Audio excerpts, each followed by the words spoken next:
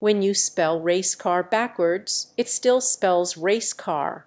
This is called a palindrome, which means it is the same word or phrase when read forwards and backwards.